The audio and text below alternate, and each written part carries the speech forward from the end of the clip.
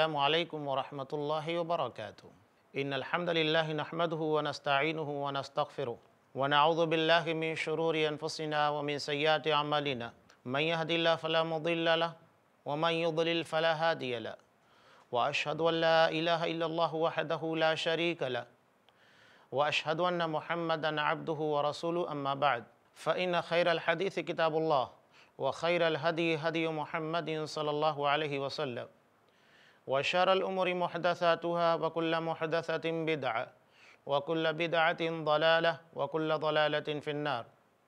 أعوذ بالله السميع العليم من الشيطان الرجيم. بسم الله الرحمن الرحيم. يا أيها الذين آمنوا اتقوا الله حق تقاته ولا تموتن إلا وأنتم مسلمون.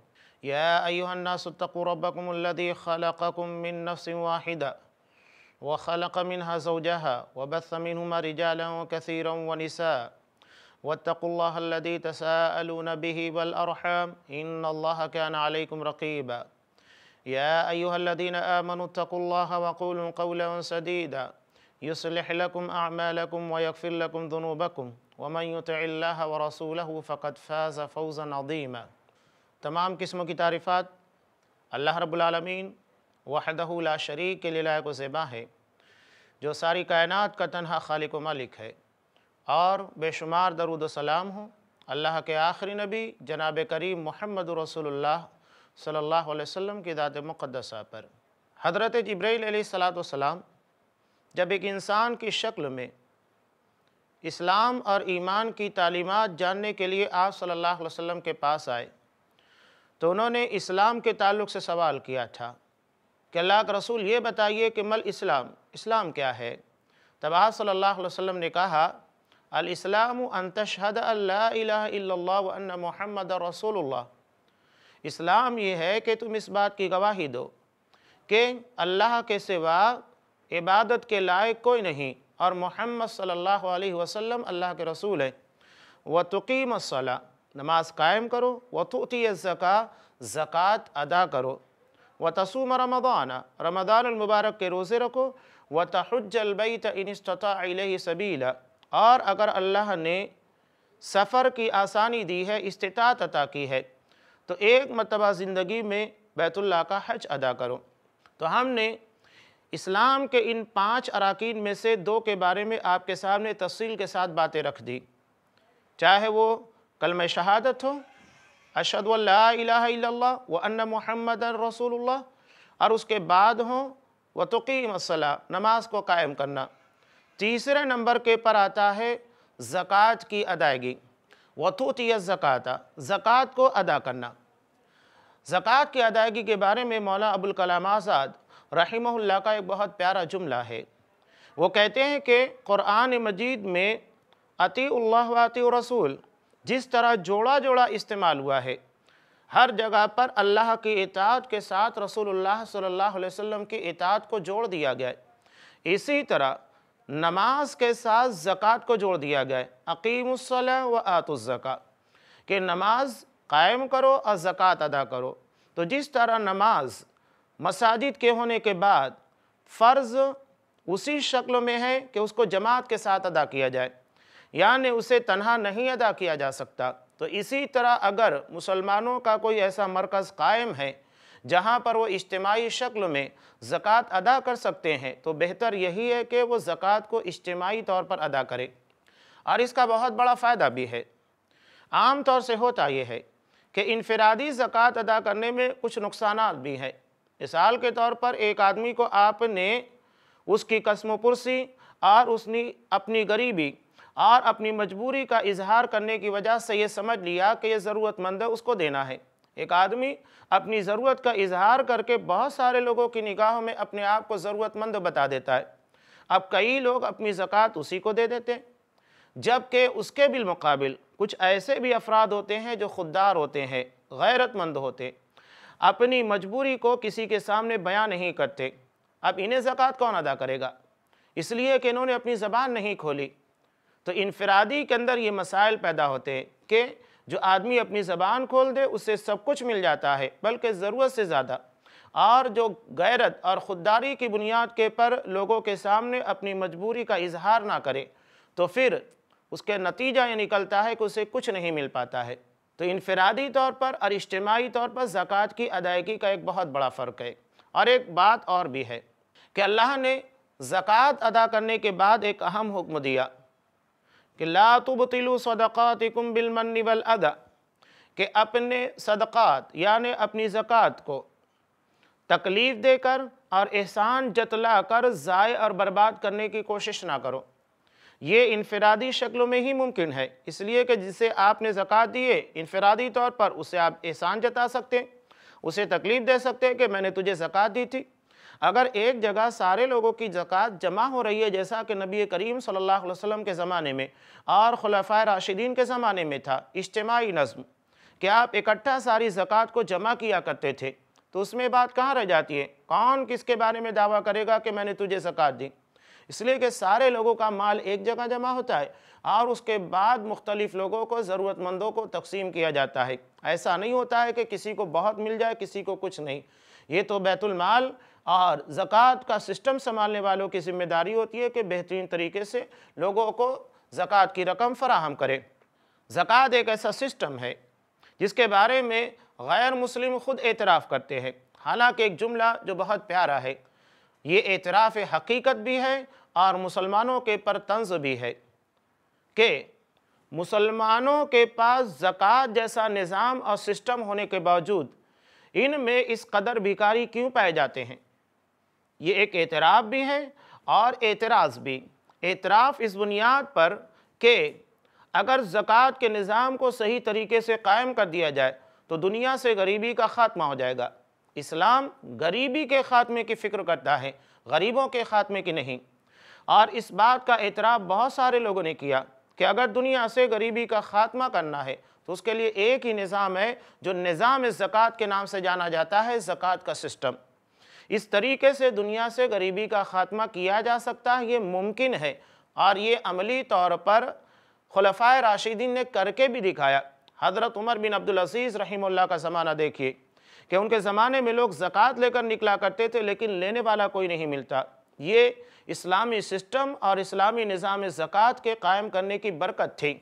تو یہ ایک اعتراف ہے اور اعتراض اس بنیاد پر کہ ہم نے اس سسٹم کو صحیح طریقے سے نافذ نہیں کیا، جس کی وجہ سے آج ہماری قوم میں اس قدر بیکاری پائے جاتے ہیں۔ سب سے زیادہ بیکاری سب سے زیادہ مانگنے والے۔ حالانکہ اسلام اس کے خاتمے کی کوشش کر رہا ہے۔ اس کے باوجود اتنی ساری چیزیں کیوں ہمارے درمیان پائی جا رہی ہیں؟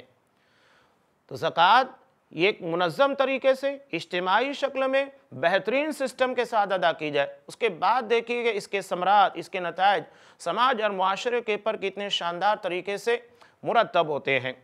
زکوٰۃ کے بارے میں، اس کی ادائیگی کے تعلق سے، قرآن مجید نبی کریم صلی اللہ علیہ وسلم کے توسط سے پوری امت مسلمہ کو خطاب کرتا ہے سورہ توبہ میں۔ خذ من اموالہم صدقتا تطہرہم وتزکیہم بہا وصلی علیہم۔ کہ ان کے مالوں سے زکاة لو اور اس کے ذریعے ان کے نفس کا تذکیہ ہوگا، ان کے مال کو پاک کر دیا جائے گا۔ یعنی مال کی زکاة نہ ادا کرنے سے مال پاکیزہ نہیں بنتا ہے۔ اور زکاة کے وصول کرنے والے کی ذمہ داری ہے کہ وصلی علیہم۔ برکت کی دعا دی جائے کہ اللہ رب العالمین تمہارے مال میں برکت عطا کرے۔ تو یہ زکوٰۃ کی ادائیگی۔ اس کی مختلف شکلیں، مختلف چیزوں میں مختلف قسموں کی زکوٰۃ ہوتی ہے۔ سونے کا نصاب الگ ہے، چاندی کا نصاب الگ ہے اور زمین سے پیدا ہونے والی چیزوں کا نصاب الگ ہے، جو اپنی جگہ کے پر تفصیل کے ساتھ آپ کو علماء کی رہنمائی کے اندر ساری چیزیں مل جاتی ہیں۔ اور جس کے لیے حولان حول یعنی ایک سال کا بیتنا ضروری ہے۔ اس کے بعد زکوٰۃ ڈھائی پرسنٹ فرض ہوتی ہے، جبکہ کھیتیوں میں اس کی زکوٰۃ جدا جدا ہے۔ اور اس کے لیے سال کا بیتنا شرط نہیں ہے، بلکہ اللہ رب العالمین کہتا ہے، وَآتُوا حَقَّهُ يَوْمَ حَصَادِ جس وقت فصل کی کٹائی ہوگی، اگر وہ نصاب کو پہنچتی ہے، اسی وقت اس کی زکوٰۃ ادا کی جائے گی۔ یہ نقدی اور اناج یعنی گلے کی زکوٰۃ کا جدا جدا فرق ہے، جو کہ آپ کو احادیث کی کتابوں میں اور اس ضمن میں لکھے جانے والی کتابوں کے اندر آسانی کے ساتھ مل سکتا ہے۔ اس کی فضیلت کیا ہے؟ سورہ بقرہ میں اللہ رب العالمین نے زکوٰۃ یا عام صدقات بھی ہوں۔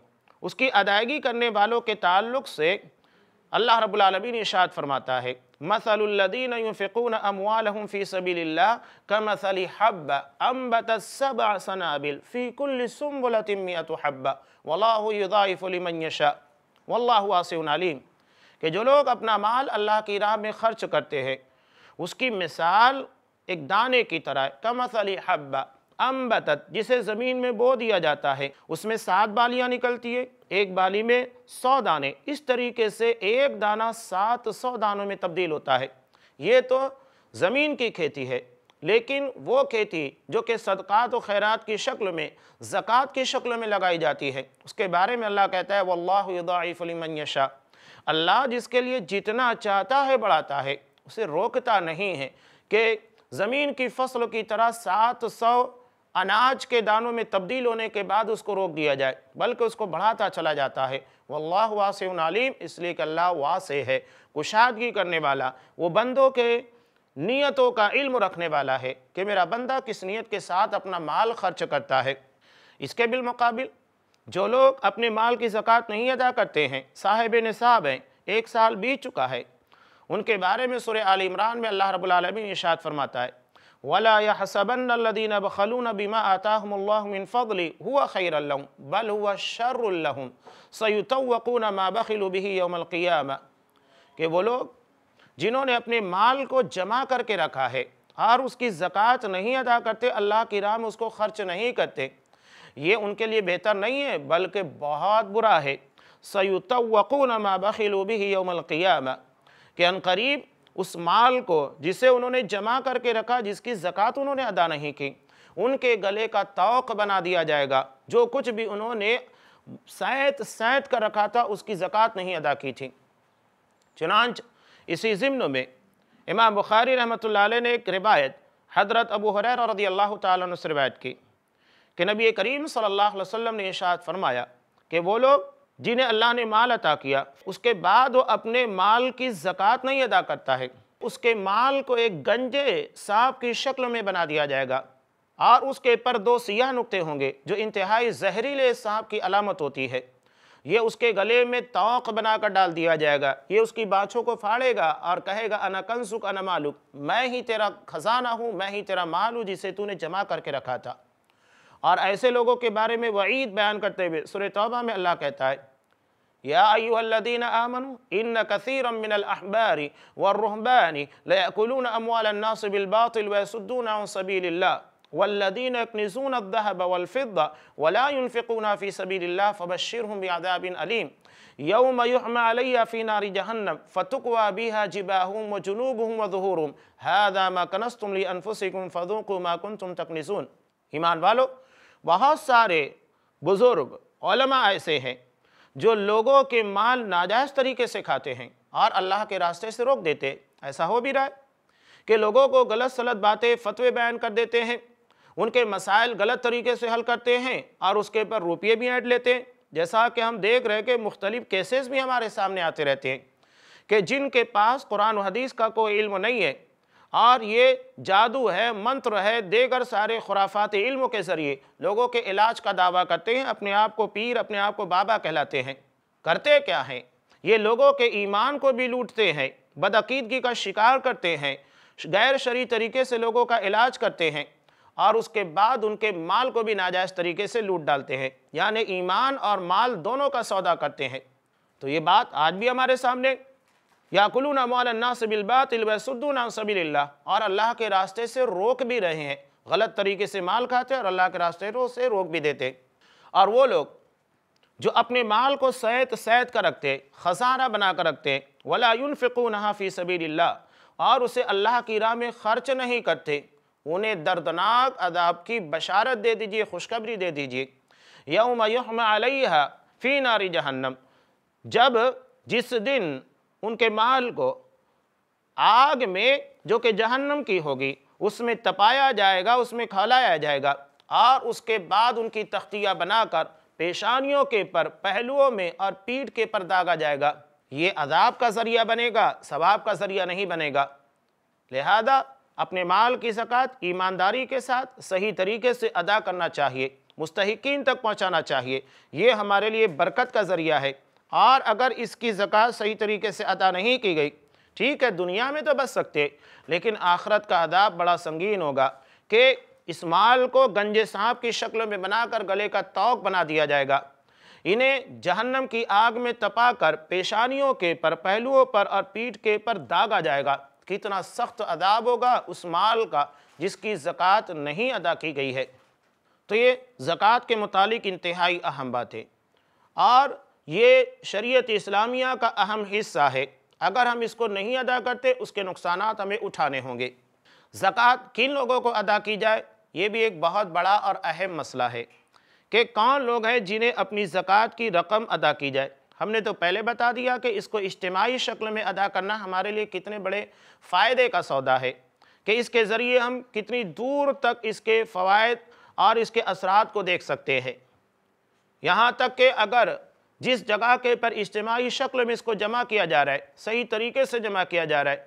وہ لوگ اس کا فائدہ لوگوں کے سامنے دکھا رہے ہیں کہ کتنی کثیر تعداد میں اس کے فائدے ہوتے ہیں، جبکہ انفرادی میں وہ چیزیں ہمارے سامنے نہیں آ پاتی۔ سورہ توبہ میں اللہ رب العالمین نے زکوٰۃ کے آٹھ مصارف بیان کیے کہ زکوٰۃ کی رقم ان آٹھ جگہوں کے پر خرچ کی جانی چاہیے۔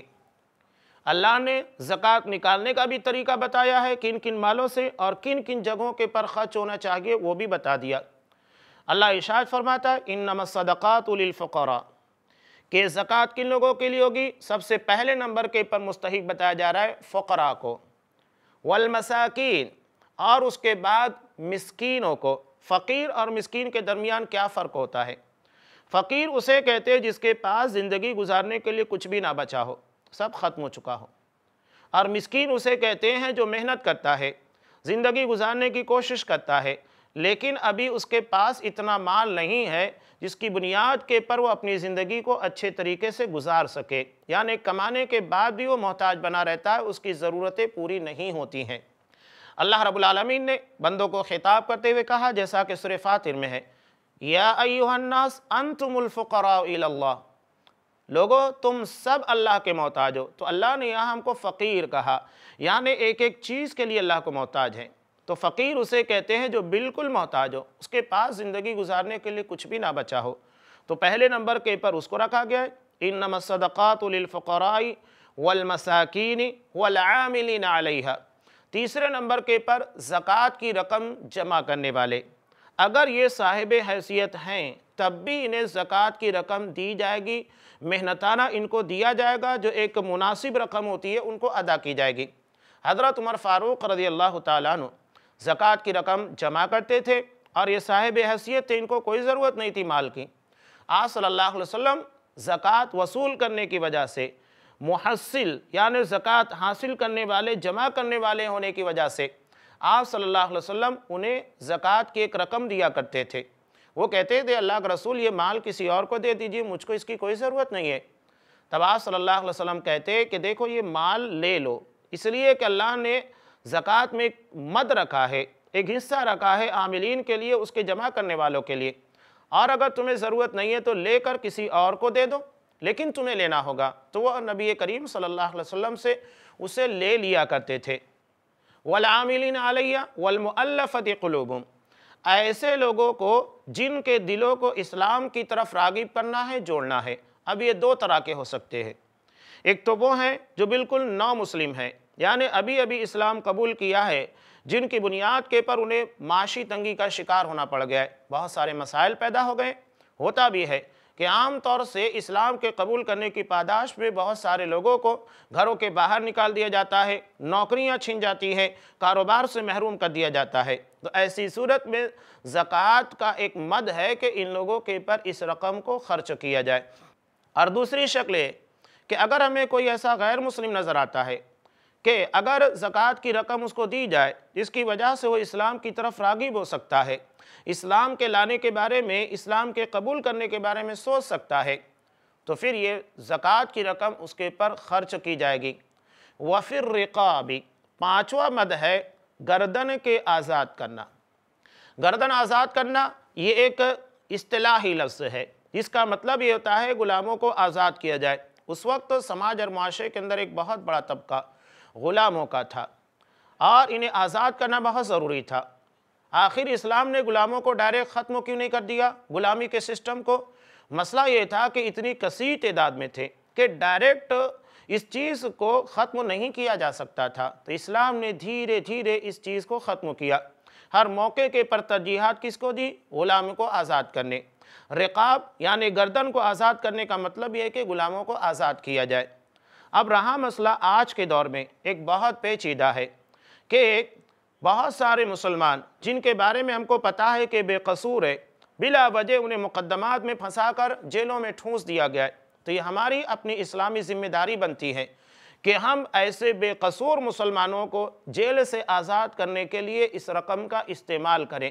یہ بھی گردن آزاد کرنے کے بارے میں اور گردن آزاد کرنے میں ہی شمار کیا جاتا ہے۔ والغارمین، اور وہ لوگ جو قرضدار ہیں۔ بسا اوقات یہ ہوتا ہے کہ ایک آدمی اپنی تجارت کو آگے بڑھانے کے لیے قرض لے لیتا ہے، اس کے نتیجے میں وہ مقروض ہو جاتا ہے۔ اور اتنا اپنے قرض میں ڈوبتا چلا جاتا ہے کہ اس کی تجارت یا جو دکان وہ چلا رہا ہے، وہ بھی نقصان یہاں تک کہ بکری کے مرحلے پر پہنچ جاتی ہے۔ تو ایسے شخص کو زکوٰۃ دی جائے گی۔ وہ تاکہ وہ اپنا قرض ادا کر سکیں۔ چاہے وہ گھریلو قرض ہو کہ اپنے گھر کے کسی مسئلے کے لیے آؤ یہ نہیں دیکھا جائے گا کہ وہ اپنا گھر بیچ دے، اپنی دکان بیچ دے۔ نہیں، اگر وہ اپنا گھر بیچ دے گا تو رہے گا کہاں؟ اور اگر وہ اپنی دکان بیچ دے گا تو کمائے گا کیا؟ ایسے لوگوں کو زکوٰۃ کی رقم دی جائے گی تاکہ یہ دوبارہ سے اپنے قدم کو مضبوط کرے، اپنی تجارت، اپنے بزنس کو آگے بڑھا سکے اور یہ ریوس نہ جا سکے، کساد مندی کا شکار نہ ہو وفی سبیل اللہ سبیل اللہ یہ ایک بہت کشادہ لفظ ہے کہ اللہ کے راستے میں۔ اب یہ اللہ کے راستے میں بہت بڑا مد ہے، بہت وسیع میدان ہے۔ کہ جو جو بھی اللہ کے دین کی تبلیغ کا ذریعہ ہے، اس جگہ کے پر اس مال کو خرچ کیا جا سکتا ہے۔ چاہے وہ مدارس ہو، جہاں علماء تیار کے جاتے ہوں، یا ایسی کتابیں ہوں جن کے ذریعے اسلام کی تبلیغ ہوتی ہے، لوگوں کی اصلاح ہو سکتی ہو۔ جو بھی اس سبیل اللہ کے اندر آتا ہے، یہاں تک کہ ایسے چینلز بھی جس کے ذریعے اسلام کی تبلیغ کی جاتی ہے، وہ بھی سبیل اللہ میں ہی آتے ہیں، اللہ کے راستے میں۔ تو ہر وہ ذریعہ جس کے ذریعے سے اسلام کی ترویج ہو، اسلام کی نشر و اشاعت ہو۔ یہ سبیل اللہ کے دائرے میں آتا ہے اور اس کے پر اپنی زکوٰۃ کی رقم خرچ کرنا چاہیے تاکہ اللہ کے دین اور اس کے مقصد کو اور اس کے مشن کو آگے بڑھایا جا سکے۔ آٹھویں نمبر کے پر آتا ہے، وابن سبیل مسافر۔ عام طور سے ہوتا ہے کہ مسافر کسی انجان بستی میں چلا جائے کسی دوسری جگہ۔ کبھی تو یہ ہوتا ہے کہ کسی وجہ سے اس کی رقم ختم ہو جاتی ہے، جتنا وہ لے کر چلا تھا۔ وہ ختم ہو جاتی ہے، گرچہ وہ اپنے شہر کا اچھا خاصا کمانے والا مالدار آدمی ہے۔ یا کبھی یہ ہوتا ہے کہ چوری ہو جاتی ہے، لوگ اس کی جیب کاٹ لیتے ہیں۔ مختلف باتیں پیش آ سکتی ہے کسی وجہ سے اس کے پاس رقم نہ ہو۔ تو اس کے پر بھی زکوٰۃ کی رقم خرچ کی جائے گی۔ زکوٰۃ کی اس مکمل ادائیگی کے ساتھ قرآن مجید نے جو حکم دیا، ہم اس کی طرف لوٹ کر آتے ہیں۔ اس کی بہت ساری فضیلتوں کو بیان کرنے کے ساتھ ساتھ قرآن مجید نے جو باتیں بیان کی بہت اہمیت کی حامل ہے کہ قرآن نے زکوٰۃ کو دانے سے تشبیح دی۔ اس کا مطلب یہ کہ دانہ اگر اچھا ہوگا، تبھی اسے زمین میں بونے کے بعد اس سے فصل نکل سکتی ہے۔ یعنی زکوٰۃ اس مال کی ادا کی جائے گی جو حلال ہوگا۔ اگر کوئی حرام طریقے سے اپنا مال کما رہا ہے تو اس کے پاس زکوٰۃ فرض نہیں ہوتی ہے۔ وہ مال ہی شریعت کی نگاہ میں مال نہیں ہے، تو اس کی زکوٰۃ کہاں سے ادا کی جائے گی؟ دانہ وہی ثمر آوار ہوتا ہے، اسی میں پھل لگتا ہے جو بہتر ہوتا ہے، جو مناسب ہوتا ہے۔ تو جو مال ہی حرام طریقے سے کمایا گیا ہے، اس میں زکوٰۃ کا مسئلہ کہاں آتا ہے؟ اس کی نہ زکوٰۃ قبول ہوگی، نہ عبادات قبول ہوگی، نہ روز نماز، کچھ قبول ہونے والا نہیں ہے۔ جیسا کہ اس ضمن میں مسلم کی مشہور روایت جسے کتاب الزکوٰۃ کے اندر نقل کیا کہ ایک آدمی جو پراگندہ حال میں اللہ رب العالمین کے سامنے اپنے ہاتھوں کو اٹھا کر دعا مانگتا ہے۔ حالانکہ اس کا کھانا، اس کا پینا، اس کا لباس، اس کے جسم میں دوڑنے والا خون سب حرام کا ہوتا ہے۔ فَأَنَّا يُسْتَجَابُ لِذَالِكَ تو اللہ اس کی دعا کو کیوں کر قبول کرے گا؟ تو زکوٰۃ کے لیے بنیادی چیز یعنی مال زکوٰۃ جو ہوتا ہے، یہ حلال کا ہونا چاہیے، اس کے بغیر ہماری زکوٰۃ اللہ کے ہاں قبول نہیں ہوگی۔ اب زکوٰۃ کے ادا کرنے کے بعد بھی کچھ فریدے، کچھ ذمہ داریاں ہیں، جو اس تشبیح کے ساتھ قرآن مجید نے آگے چل کر بیان کی ہے انشاءاللہ ہم اس تفصیل کو آئندہ اپیسوڈ میں آپ کے سامنے رکھیں گے۔ وقت ہو چکا ہے، اس اپیسوڈ کے اختتام کا۔ اجازت دیجیے السلام علیکم ورحمۃ اللہ وبرکاتہ۔